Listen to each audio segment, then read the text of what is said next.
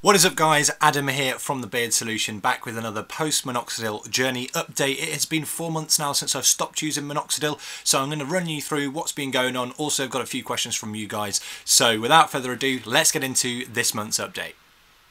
All these rappers faking, I tell them tuck your chain in, cause when my youngest came in, I swear they had them skating. So guys, it is four months now since stopping minoxidil and I'm going to be completely honest with you, I do not miss applying that shit to my face at all. I am very, very content with not applying anything apart from a bit of balm here and there. Uh, that being said, I do not regret the minoxidil journey whatsoever because I got a beard out of it. Now I did say when I actually stopped using minoxidil uh, that I'd barely been using it for the last two months of my journey, maybe around about five times in that whole two months, which is one of the reasons why I decided to stop, just because I couldn't maintain any semblance of consistency.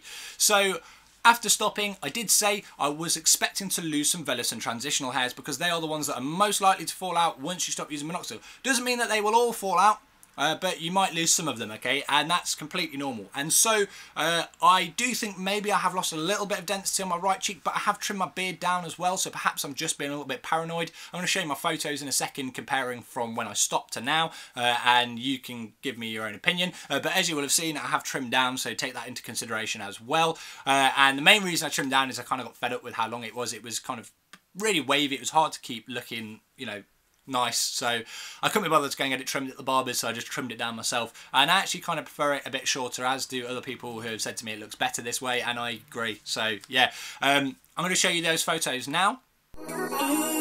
Yo, I done six shows in a row, so my voice is hurting. Fans wanna hear what you're in person. Boy, oi. She want a man from Brum, but she settled with a boy from Burton.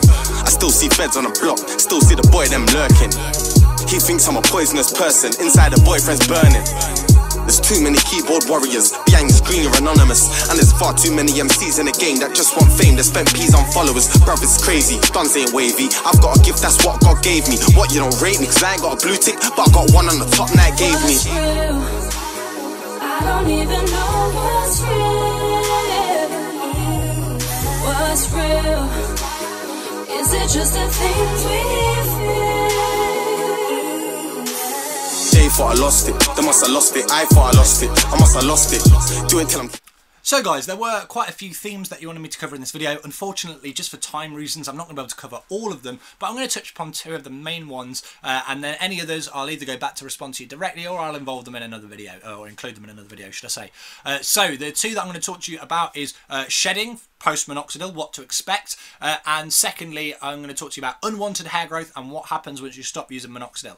So, in terms of what to expect when you stop using minoxidil in regards to shedding from your beard, yes, you're going to experience some shedding, and in fact, you might actually experience more shedding than usual. Now, this doesn't necessarily denote lost gains, and I'll explain why in a moment. Uh, but yes, we are we are mammals at the end of the day. Uh, we actually shed uh, all year round, like most mammals do, and we also have seasonal shedding. We tend to shed more hair in the summer, like cats and dogs do. Uh, now, it might seem odd to some people, but it's a scientific fact. So uh, the hair is grown in what's known as the hair cycle. So you have anagen, uh, you have uh, catagen, and you have telogen. And there's also exogen, uh, which is where the hair actually sheds. But the telogen phase is where it's resting. And so when a new anagen phase hair comes through, it'll push an old telogen hair out. I actually have a whole video covering the hair cycle, so I'm not going to go into much more detail than that.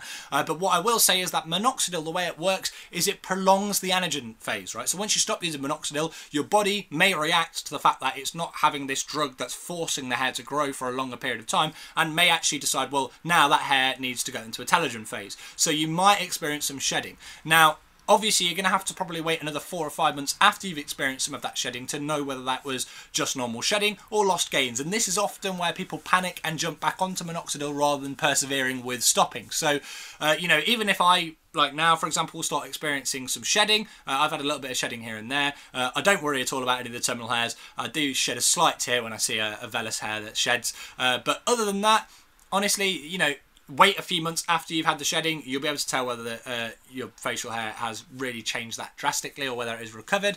Uh, but you're always going to shed hair, so I wouldn't worry about it too much. In terms of like a huge shedding period, you could have that. I haven't had it so far post minoxidil, but you could in theory because of, as I said, minoxidil lengthening that anagen state, uh, and then all of a sudden not having that uh, drug that's forcing that anagen state to remain longer uh, might cause some shedding, but that doesn't necessarily, as I say, mean hair loss. So bear that in mind. Uh, the next thing, and hopefully I have covered that. If I haven't, please do pop another comment in the comment section. I'll try and explain a little bit more uh, rather than going off the top of my head here as I am at the moment.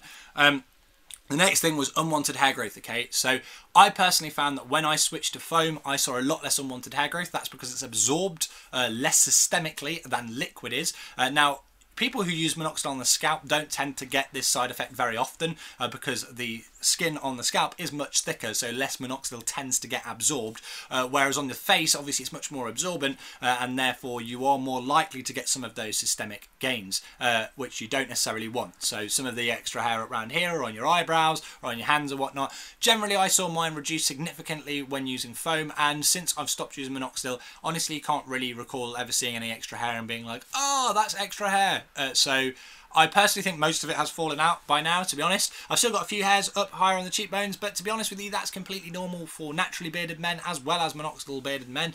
Uh, so I wouldn't worry about it too much. And mine only really show up when I take a photo with the flash. Plus, no one's ever going to be looking at my face that you know closely so i don't worry too much anymore.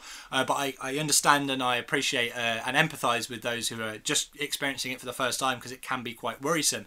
There's only one case i've ever seen which was just really bad. Uh, this person had extreme hypertrichosis from using minoxidil and i told them to stop and they wouldn't fucking listen to me. I don't know whether they're still using now. This was quite a long time ago um, but he literally had hair like all over his face. Uh, and he, he literally looked like a werewolf and he refused to trim it down I literally could not fathom why he stayed using minoxidil. I literally, me, one of the biggest advocates of minoxidil was like, stop fucking using it, okay? But guys, hopefully um, you've enjoyed this video. You've seen, you know, you you know seen uh, a few helpful tips or hints or a bit more information that you didn't know before that you now you do.